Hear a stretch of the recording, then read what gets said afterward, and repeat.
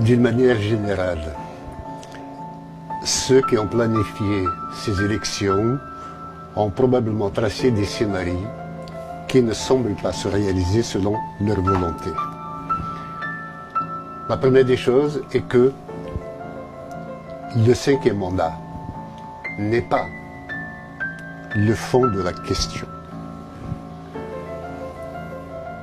Ouihia avait bien dit que Bouteflika a été réélu malgré son AVC.